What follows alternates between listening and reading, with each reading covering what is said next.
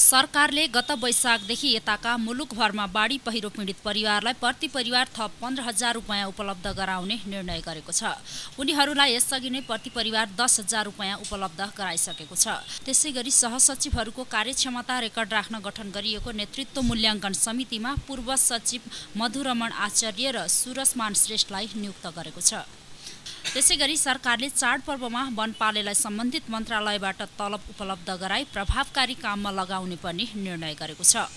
अस्ति भर्खरै प्युठानमा प्रधानमन्त्री जानुभएको थियो र त्यति बेला प्रधानमन्त्रीले बोल्नुभएको थियो कि यो बाढी पहिरोबाट जो पीडित वैशाखदेखि असारसम्म जुन प्रकारको बाढी पहिरोले नेपाली जनताहरू पीडित भए र तिनीहरूलाई दस हजार रुपियाँ चाहिँ पहिले प्रदान गरिएको थियो। अहिले दैवी उद्धार समितिले जिल्लामा स्थित जुन दैवी प्रकोप उद्धार समिति छ त्यसले चिन्हित गरेका परिवारहरूलाई थप पन्ध्र हजार रुपियाँ चाहिँ अहिले यो दसैँकै मुखमा उपलब्ध गराउने निर्णय गरिएको छ। मुलुकभर वन संरक्षणका लागि चार सय पचासजना वनपाले कार्यरत रहेका छन्।